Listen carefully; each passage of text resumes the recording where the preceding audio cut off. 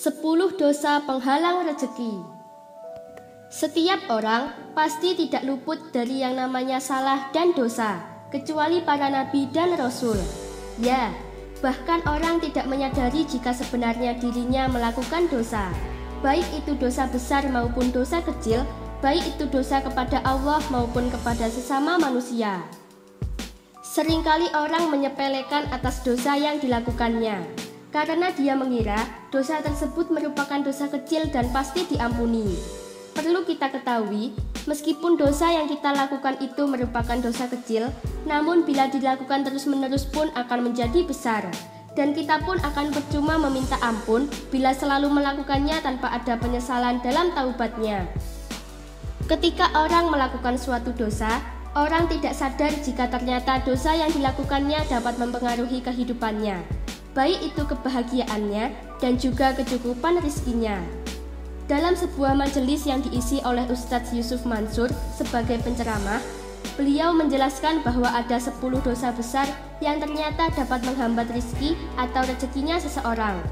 Coba lihatlah dan rasakan pada diri Anda sendiri. Apakah Anda pernah melakukan di antara 10 dosa besar berikut ini yang dapat menghambat rezeki Anda syirik atau menyekutukan Allah.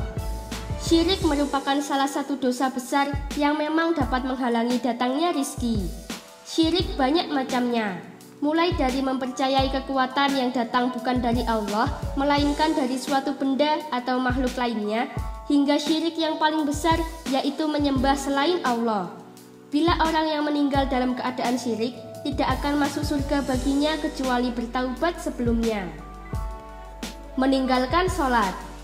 Sholat merupakan suatu kewajiban yang tidak boleh ditinggalkan setiap umat muslim. Merupakan dosa besar bagi orang Islam yang meninggalkan sholat meskipun hanya satu waktu. Dan tahukah Anda jika meninggalkan sholat dapat menghalangi datangnya rezeki? Dan bila rezeki itu menghambat, berarti itu tandanya Allah masih mengasihi Anda untuk segera bertaubat serta lebih rajin sholatnya. Durhaka kepada orang tua. Durhaka kepada orang tua ini sama saja durhaka kepada Allah. Karena ridho dari Allah tergantung ridho orang tua. Jika Anda durhaka kepada orang tua lalu orang tua tidak meridhoi Anda Maka otomatis Allah juga tidak akan ridho dengan Anda. Maka sebab itu rezeki Anda yang halal akan selalu terhalang. Rizki haram setiap orang diwajibkan mencari rizki yang halal dan bukan yang haram. Rizki yang haram bisa memutus rizki yang halal. Ini sebabnya apa yang Anda cari selama ini tidak pernah memberikan keuntungan. Biasanya, bila rizki yang dicari dari jalan haram, rizkinya tidak akan bertahan lama. Misalkan saja Anda mendapatkan uang dari hasil judi. Pasti uang itu akan di tangan Anda hanya dalam waktu sebentar dan pasti akan segera hilang karena tidak berkah. Zina Sebenarnya zina memiliki banyak macamnya dan semuanya harus dihindari. Zina merupakan salah satu dosa besar yang hukumannya sangatlah berat. Bahkan bila tak dihukum di dunia terlebih dahulu, tidak akan dapat pengampunan di akhirat kelak. Penjara tidak berlaku untuk hukuman orang zina.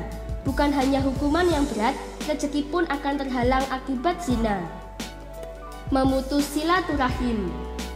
Tahukah Anda bila memutus tali persaudaraan, pertemanan, persahabatan, dan juga termasuk tali silaturahim dapat menyebabkan rezeki Anda juga terputus?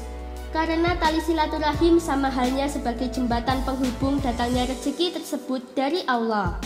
Jika Anda memutus silaturahim, sama halnya Anda memutus jembatan rezeki Anda. Minum hammer minuman hammer atau minuman yang memabukkan. Dalam hal ini, bukan hanya minuman saja, melainkan semua minuman maupun makanan yang sudah pasti memabukkan itu sama halnya dengan hammer, dan itu haram untuk dikonsumsi. Jauhilah hammer bila rezeki Anda ingin tetap lancar dan tidak tersendat-sendat.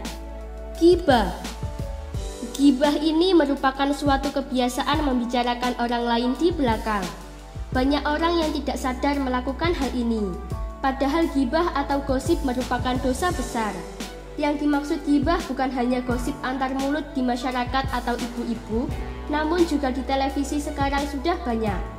membicarakan semua hal yang sebenarnya tak patut dibicarakan di media umum, menuduh dan bersaksi palsu, berkata baik atau diam.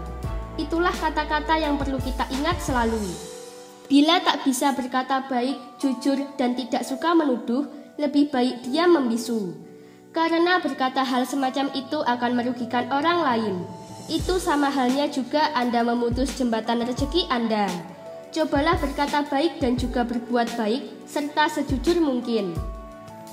Kikir dan pelit Islam mengajarkan kita untuk saling menolong dan tidak pelit maupun kikir. Perbanyaklah sedekah secara ikhlas dan dengan sedekah itulah rezeki Anda akan bertambah berkali lipat. Namun bila kikir dan pelit itu selalu dipelihara, bukan hal yang mustahil bila rezeki selalu terhambat dan tidak lancar. Karena lancarnya rezeki tergantung lancarnya kita memberi kepada orang lain. Semoga informasi tersebut dapat bermanfaat. Jangan lupa untuk klik subscribe untuk mengetahui video terbaru dari kami.